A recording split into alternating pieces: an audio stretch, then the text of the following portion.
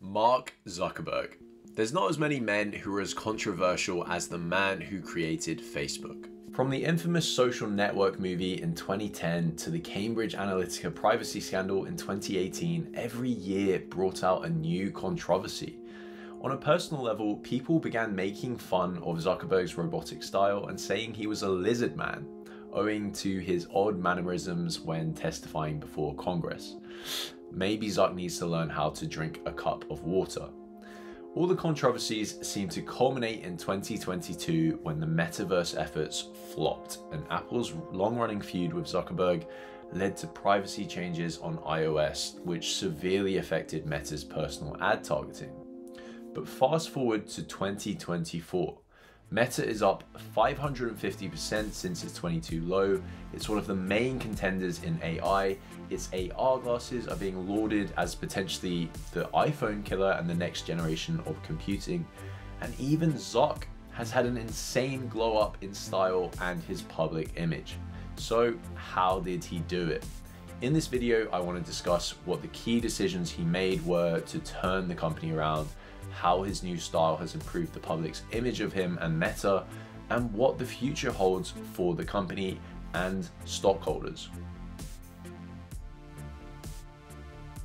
Decision number one pivoting to short form video reels.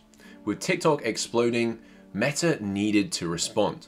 Social media's shift from seeing connected content or content from people that you actually follow, like your friends and family, to unconnected content or content that's recommended by a platform's algorithm that you don't have any connections to it's been happening for quite a long time, but TikTok was really the catalyst for it to go into overdrive with the short form video format.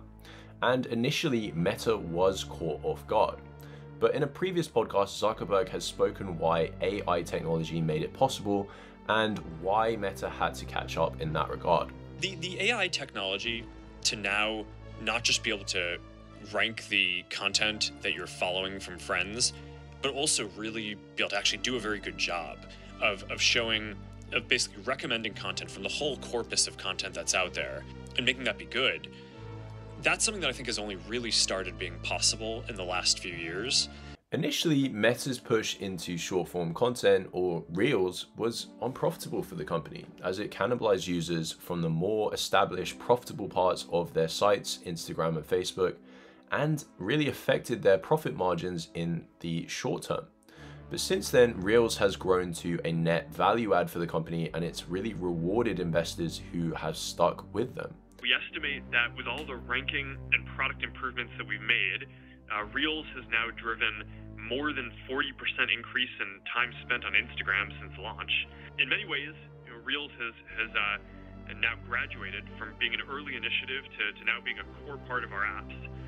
This isn't the first time that Meta's been behind on social media trends. For example, it had to mimic stories from Snapchat, but you don't have to be the first to a trend to profit from it. And Zuck really made the right move here by continuing to adapt his platforms rather than sticking to the same old format.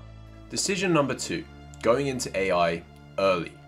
In 2022, Meta's AI GPU investments were seen as being very expensive and very risky. But fast forward two years later, they've definitely paid off. Meta bought GPUs throughout 2022 before the ChatGPT inspired AI boom in 2023 GPUs are effectively like pickaxes during a gold rush. They basically process the information that AI uses to actually run, and the AI craze led to them being worth their weight in gold. So, Meta buying them early really took the edge off of their capital expenditure, their expenses, and helped propel the company to being one of the leaders in AI technology, although they've since had to buy more and more GPUs, so that is a cost going forward. In particular, though, their Llama AI open source model has been a really smart one. It's led to an ecosystem quickly developing where increasing numbers of developers become familiar with Meta's APIs and platform and technology, really pushing forward their brand above other ones that are paid for models. Decision number three the year of efficiency. Zuck's infamous speech about layoffs and trimming the fat at Meta led to a huge stock price rally, which the company hasn't looked back from. Elon Musk stole the headlines by firing 80% of Twitter's staff and keeping the company running business as usual. But it's pretty clear that Zuck took a lot of inspiration from that decision for his year of efficiency at Meta, where they laid off 20,000 staff, got costs under control, and gave Wall Street exactly what they wanted.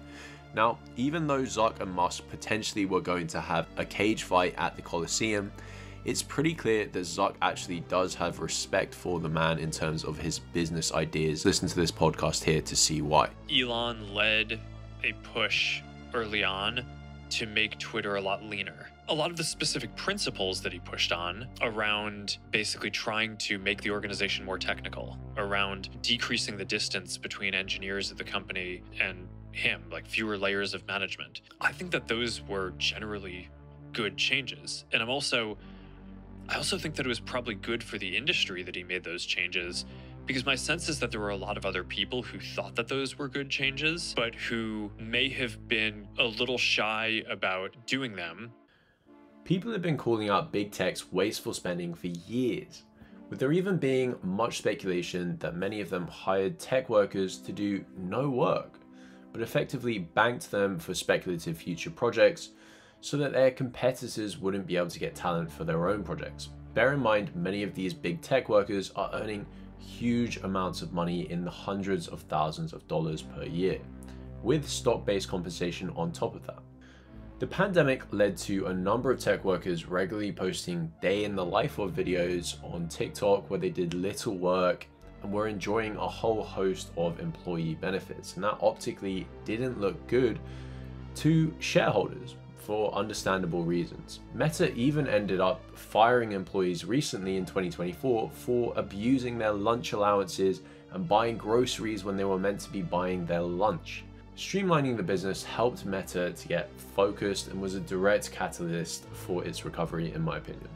All of this leads me on to Mark Zuckerberg's massive style upgrade. Now, you might think this is relatively superficial but in reality, the perception of a CEO as being cool has a huge effect on whether the public perceives his company as being cool. And the public perception of a company has a huge effect on the scrutiny applied by regulators. Think back to 2022. What was your perception of Mark Zuckerberg? Probably nerdy, money hungry, morally dubious, steals your data, or even lizard man. Are the allegations true that you are secretly a lizard? Um, I'm gonna I'm gonna have to go with no.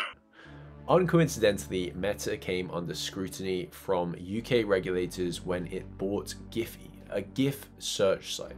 Hardly the most consequential of acquisitions, but there was pretty much zero pushback from anyone but Meta when it was forced to sell the company by the CMA.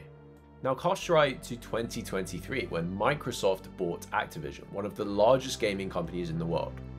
UK regulators again attempted to block the deal, but this time there was huge outcry from investors, from the media, and many were calling the UK uninvestable. There was so much outcry that the CMA eventually had to U turn and reverse their decision, still claiming it as a win, but in reality, it was a pretty humiliating calm down. Would this have happened if 2022 Zuck was in charge of Microsoft? Of course not. Why would anyone stick up for Zuck or his companies when his public perception was so awful? Now, fast forward to 2024. Zuck's rebrand has been long in the making, but it's clearly a very smart move and whether it's genuine or contrived, public perceptions of him are beginning to improve, and thus their perceptions of Meta are also getting better. Now for the future of Meta. We've seen the company's stock shoot up over the last couple of years, but can we expect anywhere near that same kind of returns in the future?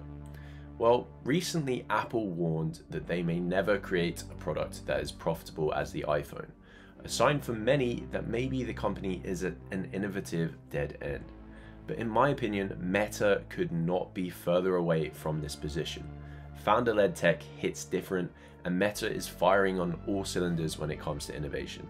Not only is Meta a leader in AI tech, which will shape the next decade, but in its Reality Labs division, real signs of a threat to the era of the smartphone are starting to develop. Meta recently announced its Orion prototype smart glasses that provide a seamless interface between the internet and reality. It came out to rave reviews from tech reviewers, and hearing Mark's explanation of why smartphones could be replaced makes a huge amount of sense to me. Just listen here. I don't think people are getting rid of phones anytime soon. When phones became the primary computing platform, we didn't get rid of computers. We just kind of shifted, right? So I, I don't know if, if you have this experience, but at some point in the early 2010s, I noticed that I'd be sitting at my desk in front of my computer and I'd just pull out my phone to do things. Yeah. And I think what's going to happen, it's not like we're going to throw away our phones, but I think slowly we're just going to start doing more things with our glasses and leaving our phones in our pockets more. And it's not like we're done with our computers and I don't think we're going to be done with our phones for a while, but there's a pretty clear path where where you're just going to use your glasses for more and more things and over time I think the glasses are also going to be able to be powered by wrist based wearables or other wearables. So you're going to wake up one day 10 years ago from now and you're not even going to need to bring your phone with you. Now, you're still going to have a phone, but I, I think like more of the time people are going to leave it in their pocket or leave it in their bag or eventually even some of the time leave it in their at home. And um, I think there will just be this sort of gradual shift to glasses becoming the main way that we do computing. It's interesting that we're talking about this right now because I feel like phones are becoming kind of boring and stale. You know, like I I just was like looking at the new iPhone and it's basically the same as the year before. People are doing foldables, but like it Yeah. feels like people have kind of run out of ideas on phones and that they're kind of at their natural end state. When you realize that 2 billion people on the planet already wear glasses and thick frames are in style, it doesn't sound that far fetched that many people would make the switch. Although almost all of Meta's revenue and profit is currently from its advertising, it's not hard to see a future where Meta's smart glasses supplant the smartphone and become a huge revenue driver for the company in the same way that the iPhone has been for Apple. As I've always said with Meta, I have zero problem with the company sinking billions into its R&D for Reality Labs, something a lot of investors criticize it for. Because ultimately, this is a great investment for the future, and companies that don't innovate eventually stagnate. If Reality Labs were to fail, the cash flows going into it would just be added straight back onto the free cash flow and the profit margin of the company. So, really, it's a win win situation, even if Reality Labs fails or succeeds. Meta was my number one bet for this year, and so far it's done very well, up nearly 60% over double the S&P 500's 25%. I'm personally sitting at a big profit and would rather be buying more of this stock than selling, even though it's already the largest position in my portfolio. That's how much I rate the company at the moment. Valuation wise, it's really not that expensive in my opinion, sitting at a low 20s forward price to earnings ratio and a 3.6% free cash flow yield. There's not that much to not like, in my opinion. The only problem will be if advertising revenue starts drying up due to a global recession or something that major. But even then, it will just make the stock cheaper and more attractive to buy for the recovery, similar to 2021 when the stock price went down so much after an advertising apocalypse, pretty much. Thanks for watching, guys. If you liked the video, please like and subscribe, and I'll see you guys next time.